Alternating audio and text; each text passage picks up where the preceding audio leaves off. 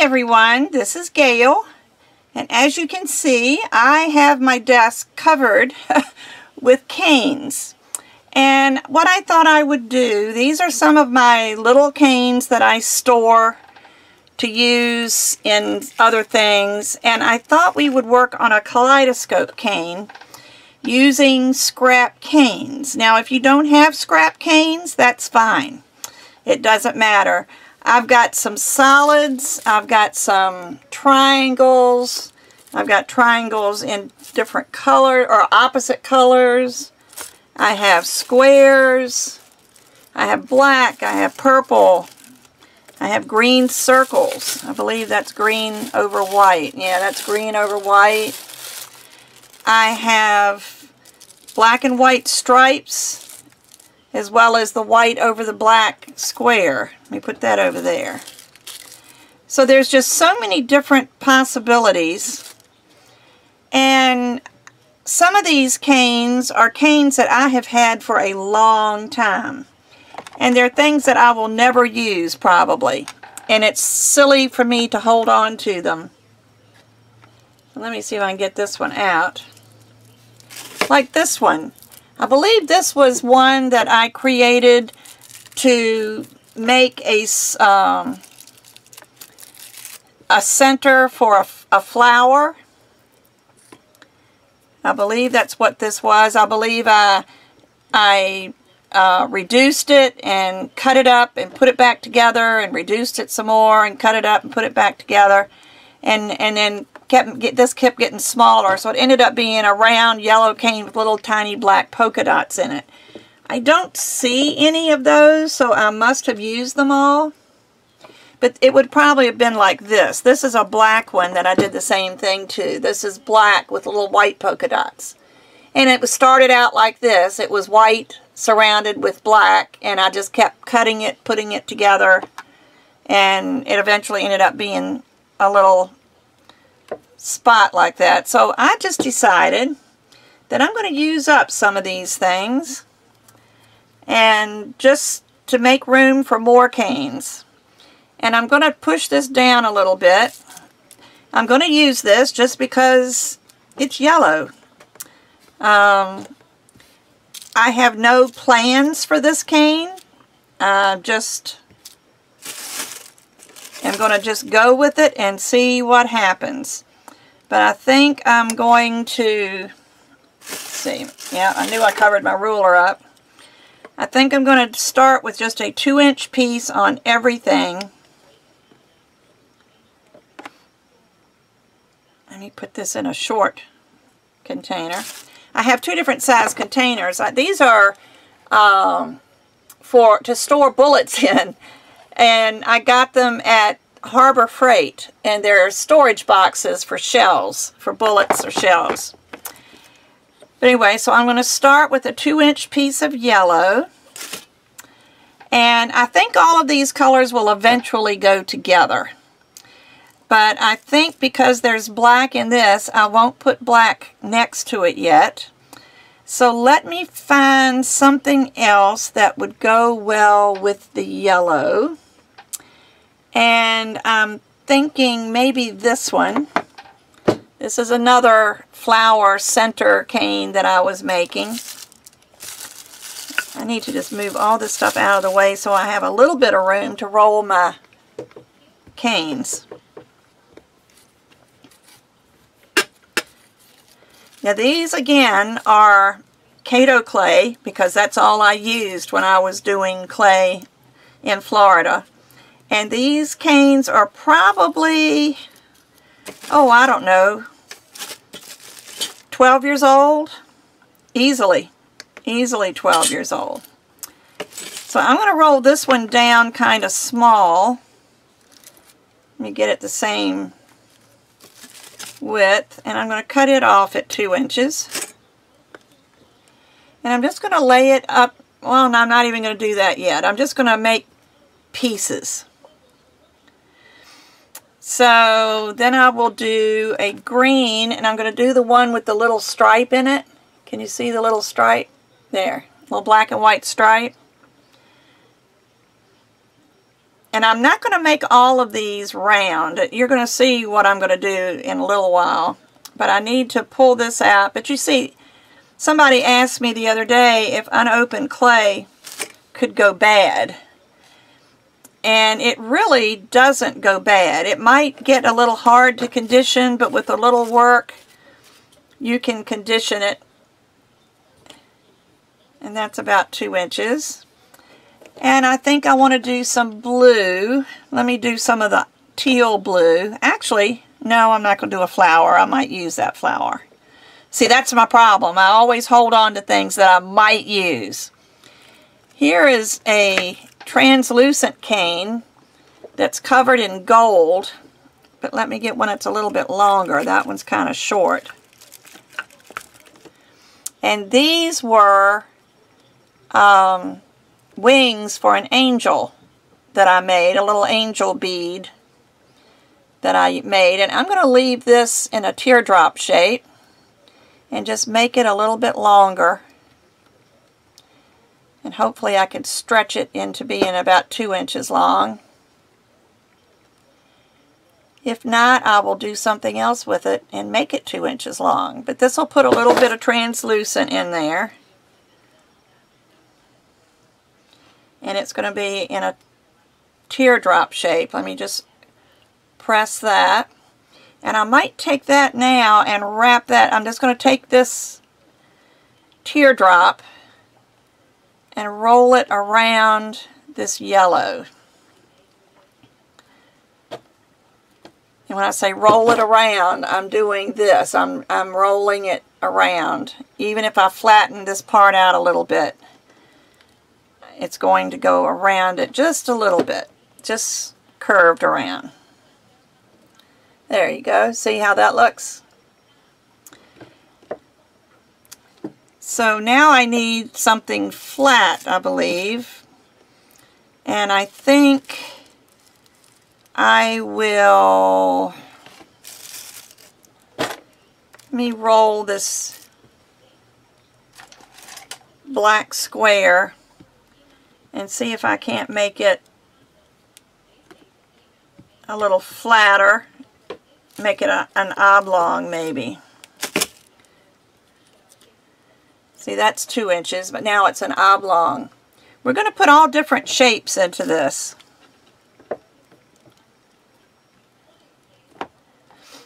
and I think well, I don't know yet Let's see what else I've got. This is just playing, you know, which is, I've told you before, that's what I like to do. I don't know how the pink is going to go with it, but it, I'll wait on the pink. Um, let me do, I've got green. Let me do some of the purple. Purple and yellow look good together. And I think I'm going to try rolling this out a little because it's not two inches long, but I want to try to keep it square. And I may change my mind as I go along.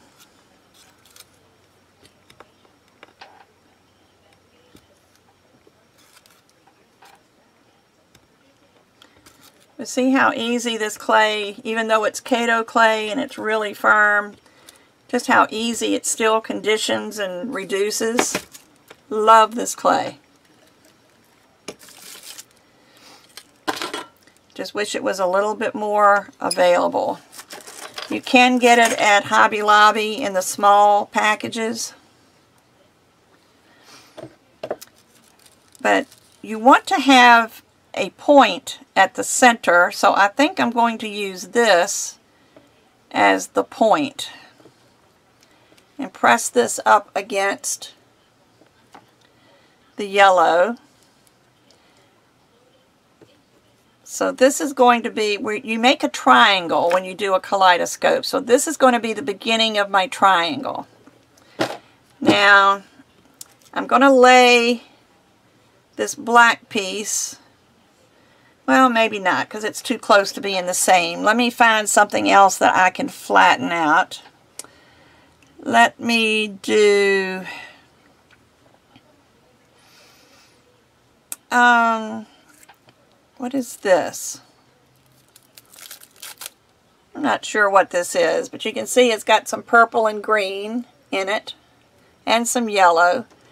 So let me soften it up a little bit. This is this translucent's cracking, so it's going to need to be warmed up just a little bit.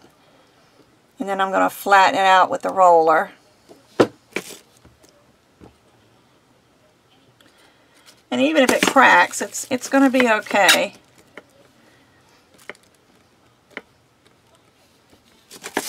Whoops. Paper is great, but it can get in your way sometimes. So let me just keep pressing and with a little luck, this clay will all go together. But I'm going to lay this on top of that purple square and just press it in. And now here I think I will put one of these little things. This is the little swirl. See if I can find one that's large enough for you to see. It started like this. I just squished it in, but it started like this, and I've turned it into this. Can you see how little this is? But I'm going to lay that here in the crevice. Now, it looks like I'm just throwing together a bunch of clay, and in pretty much I am. But that's part of the fun of making a kaleidoscope. Now here, I've got a black and white stripe cane. It's the end of one. And I'm going to first stretch this so that it's two inches long.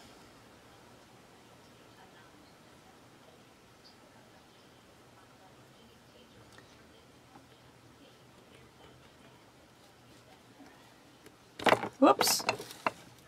Probably shouldn't have pulled it so hard.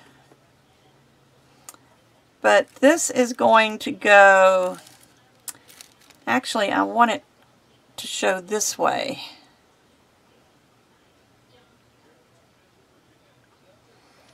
So this one isn't going to work. I need to get a bigger one, which I just happen to have. I told you I had a lot of canes. Because what I want need to do is to make this line go all the way through your cane and that's the only way to do it is that way. So let me stretch this out a little bit. Again, this is an old cane. It's been sitting here for years. But I'm going to go ahead and just roll it. Don't try to reduce it too quickly. Whoops. But go on all four sides. Just keep turning it. Roll, turn it, roll, turn it, and roll. And you can, I don't know if you can tell, but it's getting longer.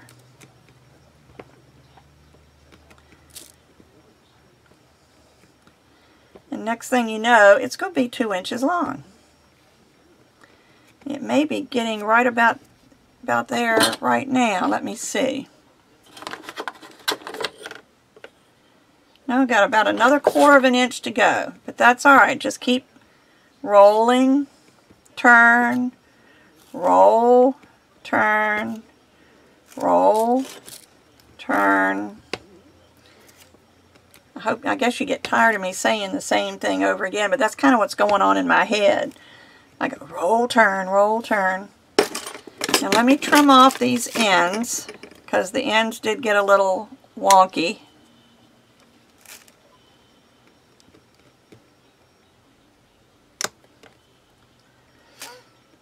And I'm going to cut let me make this two inches because I, I know I shortened it after I cut it. But it should be conditioned pretty good now so I can just squeeze it.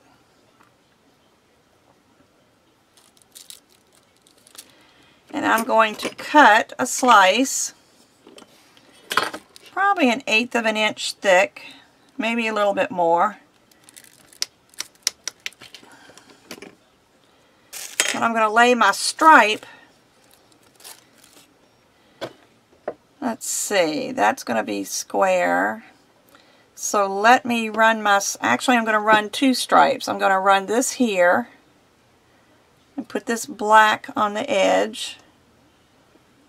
The black here that's on, it's on an edge. And I'm going to take another slice about the same width, or thickness, not width,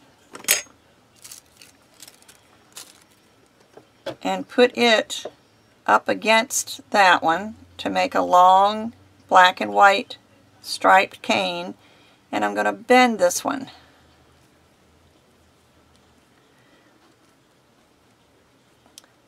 Just because. Don't ask me why, I just don't want everything being straight. Doesn't make a pretty kaleidoscope. And I know you're just looking at wonky ends, but you can kind of get an idea of where I'm heading with this. It's, it's curved instead of just being a straight line. So now we've got some more to build. So let me, I've got a place where I can put a small green circle right here, right alongside that black and white striped cane.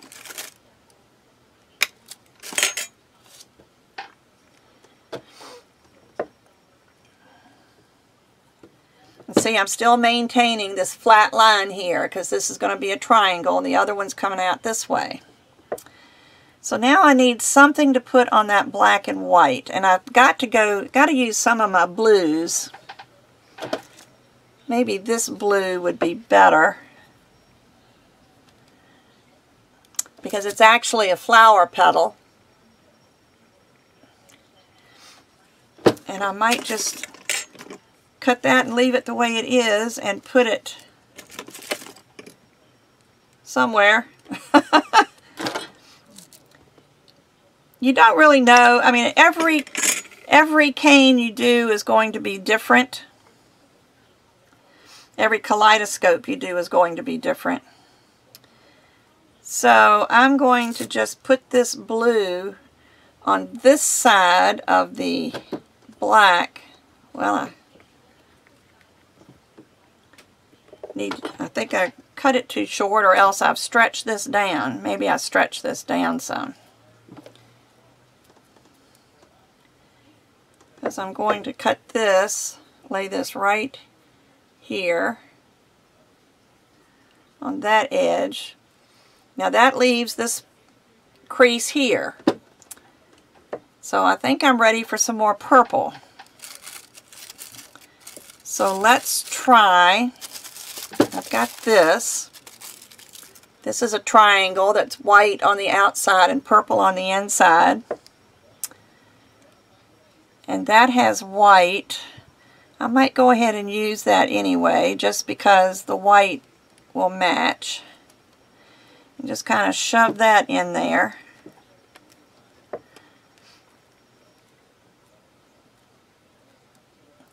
But you can see by make by just using scraps of your canes, you can do so much. And what else have I got that I can throw in here? I need something um, something that would go all the way across here. Maybe I could take, no, I don't want to add more purple.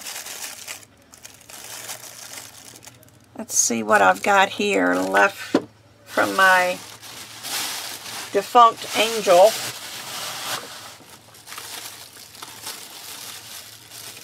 Um, I have some pink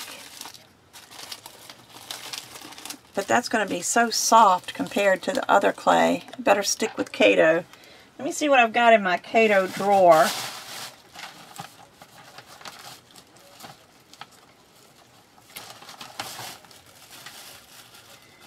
Got some copper.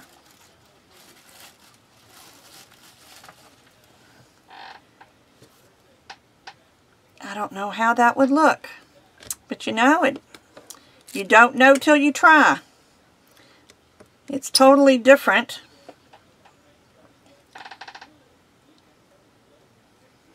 Let me see how wide this is. It's just shy of two inches, so let me do it this way and make it two inches.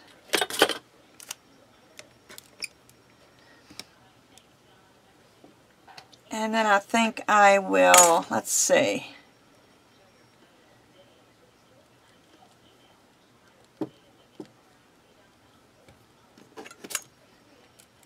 I was going to use gold because I've got gold in some of these other canes, but why not use copper? see, I just want to break up all of these lines and things with something a little bit more solid and linear. And you see that this point doesn't meet over here, so let's just make it meet. Let's just press it in so that there's no space. Maybe I need to push the blue some too.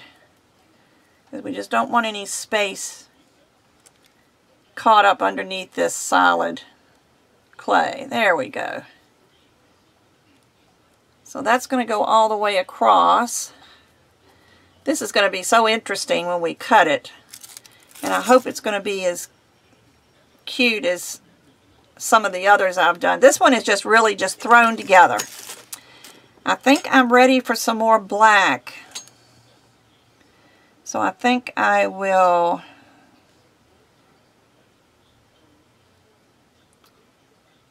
put black right there. Now I think I'm going to move it over to right there. And now I've got this green that has the black stripe through it. Let me just flatten that out a little bit.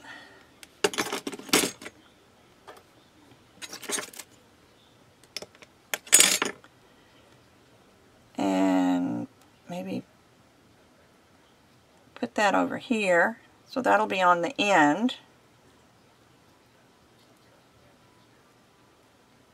And see, you always remember to look at it from this side. Don't worry about what it looks like over here. You're always looking at this side.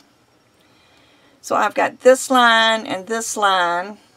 So I just need to come up and bring, I need something big to go here. Something round that will go with it. I wonder if the pink would go now. Let's try it. Kind of clashes with the copper, but you know, it's going to be that kind of cane.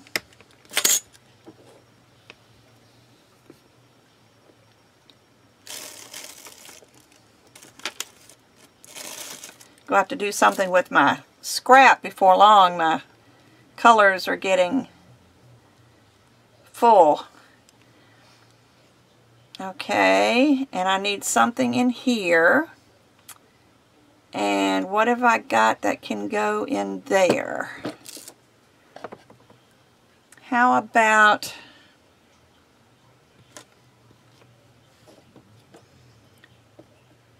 Well, here's a black and gold. It's yeah, it's gold covered in black. I could maybe put some of that in there needs to be a little bit smaller than the one that's there.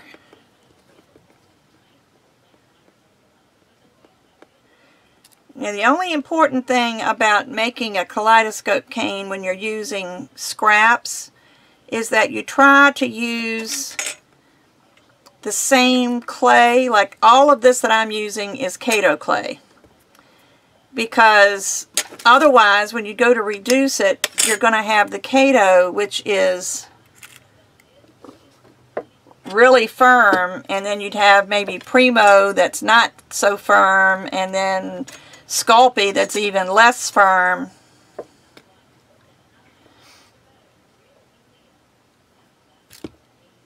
I got smashed and I want it more round to fit in there. And then just one little piece to go in here and I think we'll be done. So let me look at this. I've got green and gold and copper and black and pink and green. I've only got that one piece of pink, but I don't know. The only other thing I've got with pink in it is this rose.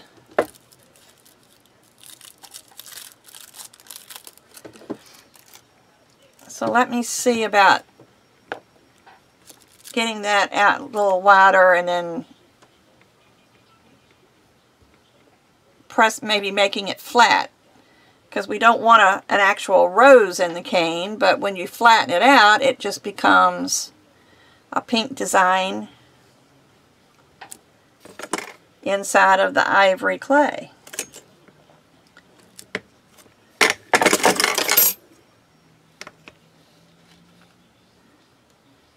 See, you would never know that was a rose. So let's try that. And I think that's going to be our cane. Get rid of all my little pieces.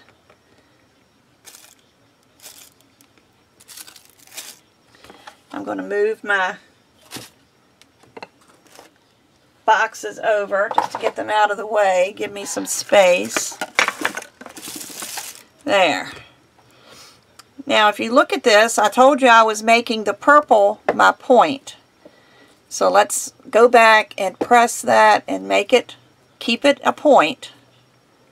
Because as you're working with it, it it does flatten out a little. And so now what we're going to do, that's the point. So this is our triangle. It's going to be like this. This probably needs to come up a little bit higher, but my, I don't know. I think I'll just leave it the way it is. So I'm going to lay this down on its side and I'm going to roll this to make it flat. I'm going to roll this to make it flat. And then I'm going to roll this to make it flat. And I'm going to keep doing that until it looks like a triangle. Might take some doing. Actually, that's the top. I probably ought to press this way. Now, if you're using other clay other than the Kato, this will be easier, but you can see I can still press this clay. You want to get all the air spaces out. Make sure that all this gets mashed in.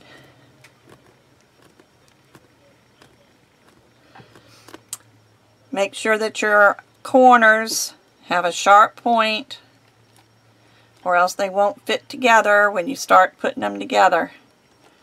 So always go down. I'm thinking this green must have been Primo because it's much softer than the rest of them.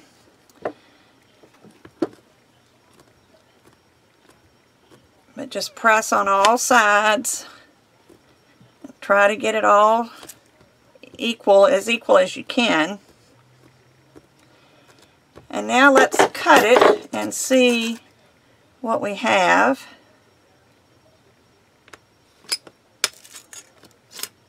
Now see, there's one slice. There's the corner. There's the bottom corner. Course, you can use any of them as corners, but just while I was constructing it, I made the purple side here the, the corner. And in, in order to have something, some kind of reference to do the rest. So Let's see what we can do with this. I can reduce it down, just press down in the center all the way around. And then after you get the center moving, then you can start going out and it will start to get longer. Let me see Oh yeah, this is getting to move a little, so I'm just going to start stretching a little bit.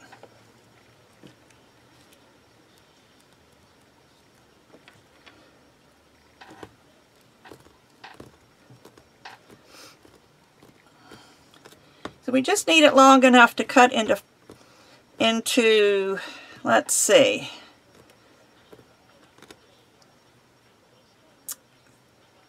six pieces. Well, let's start first by cutting it in half. Let's do that first.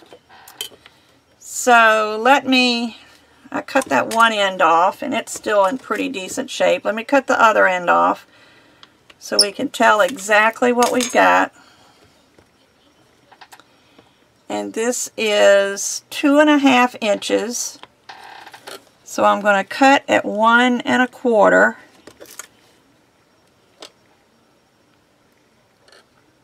which is right about there. That's not half.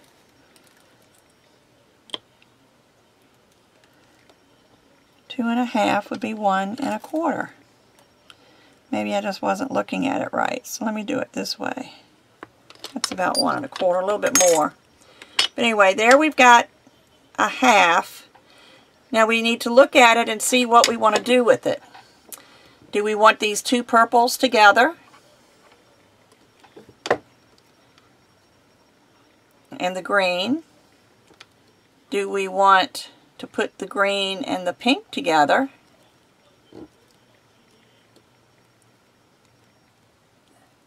See what that looks like. Or do we want to put the pink and the purple together? Now, I don't think I would like that because I just don't like these two little dots together. It makes them look like eyes. So I think I'm going to go back to this way.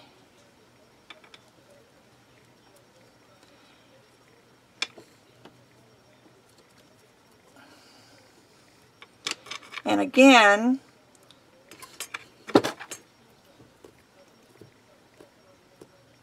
you need to press this back down into a triangle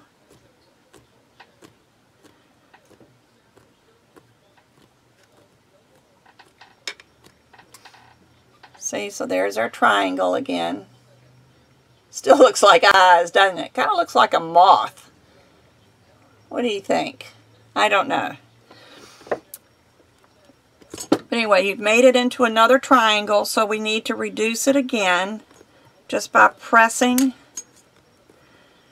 You can press in from the sides and then turn it. Press in from the sides and turn it.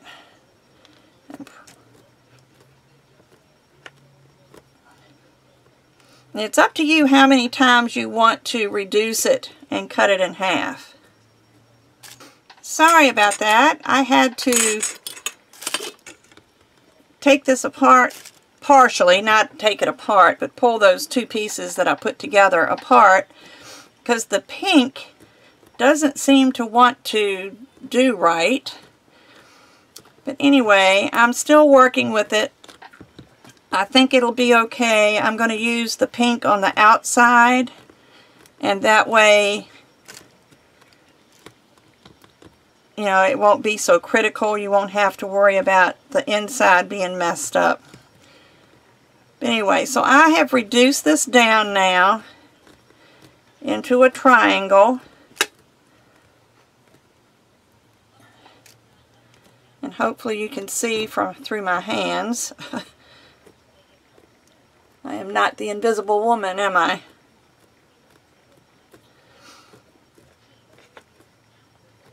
Anyway, I'm just trying to reduce this and the pink is not cooperating. So I probably I don't know what it's going to look like when we cut it. But I'm going to go ahead and cut this into six pieces. See how long this is.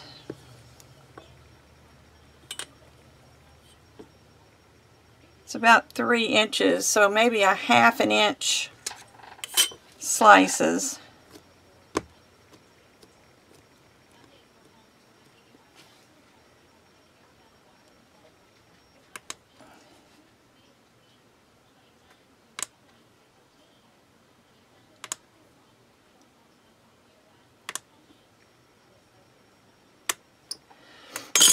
and then you put it together in your cane. Now I think the green is going to end up being in the center. Probably should cut this end off because that end isn't flat.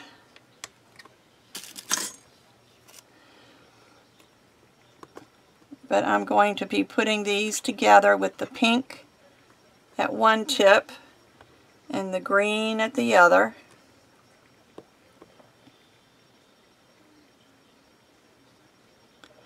Actually, I think this one is backwards. Because the green isn't matching up.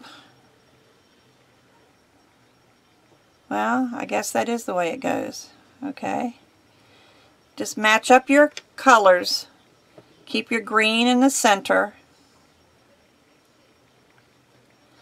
And just match it up all the way around.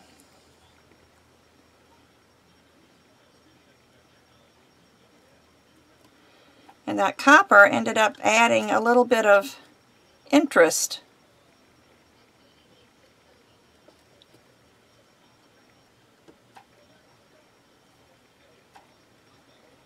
And put this in here. And there is your kaleidoscope. You can press it together and reduce it. Get that green matched up a little bit better. But what I would do at this point is maybe take an acrylic uh,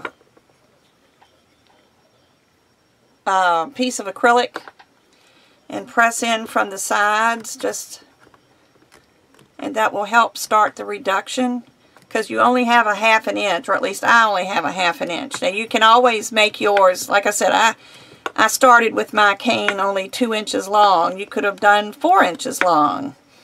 I was just trying to work with what I had. And it doesn't matter what you start with. Those started out as some pretty crummy looking canes, but look how it turned out. Isn't that pretty?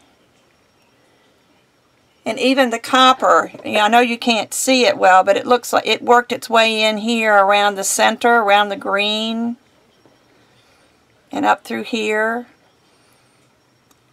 But that's how I do kaleidoscope canes with scrap canes. Now you can, like I said, you don't have to use canes. You can start from scratch and make different colors of Skinner blends and then just put them into different shapes, do different things with them. If you really want to see how to do a great kaleidoscope cane, go to uh, Teresa Pandora Salgado's uh, YouTube channel. She has got some awesome uh, some awesome videos on doing kaleidoscope canes and she calls it Pandorified and they are. She does some awesome kaleidoscopes. So just keep doing that and it will get smaller. It's already getting thicker. It's all it's about three quarters of an inch now. But just keep pressing in from the sides. If you have two, which I do, you can do it this way so that you don't lose your shape.